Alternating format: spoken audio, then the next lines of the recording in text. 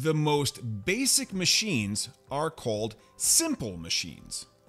And these simple machines are the inclined plane, the wedge, the lever, the wheel and axle, the screw, and the pulley. Simple machines change the strength or direction of a force, such as a push or pull. Let's dive in and see what each one of these simple machines do. A lever is made up of a straight, rigid object like a board or bar that rests on a support called a fulcrum. The lever helps you lift things easily by pivoting at a point called the fulcrum. If you know what a seesaw is, then you know that pushing down on one side is applying force, and this is what makes the other side go up, lifting you into the air. Next, we have the wheel and axle. An axle is a shaft or rod that is fixed to the center of a wheel. In some wheel and axle machines, the wheel is replaced with a crank or another part that spins in a circle just like a wheel. Wheels help things move smoothly, like on a bike or a car. The wheel and axle help you move things easily by rotating. A steering wheel in a car is a wheel and axle machine. Another example is a doorknob. A doorknob is a wheel that turns the inner shaft or axle.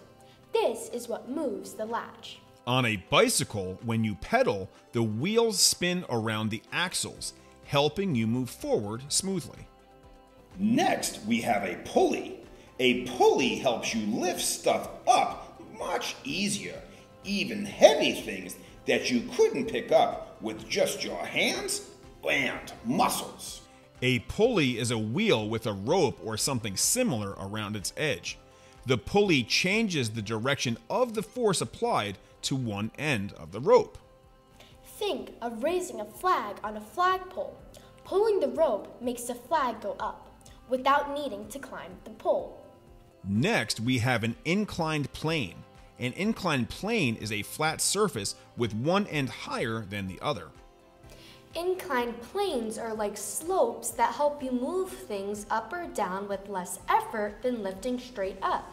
For example, riding your bike up a ramp is like using an inclined plane. The next simple machine on the list is a wedge. A wedge is a piece of material that narrows to a thin edge. Pushing the wedge in one direction creates a force in a sideways direction. The head of an axe is a wedge.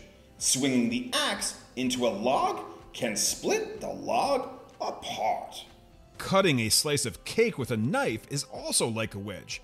The sharp edge of the knife acts like a wedge, making it easier to cut through. Our final simple machine is a screw. Screws help hold things together. Now it makes sense. You have a screw loose. A screw is a thin rod with edges or threads that curve around it and allow it to grip or join materials tightly. Turning a lid on a jar is like using a screw. It keeps things closed tight.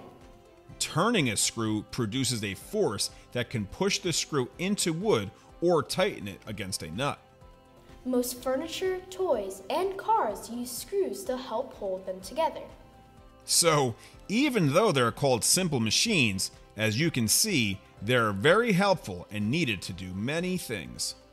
Well, hey, guess what? Now we all know just a little bit more about simple machines. Thanks for watching, and don't forget to smash that thumbs up button. It really helps out our channel. It sure does.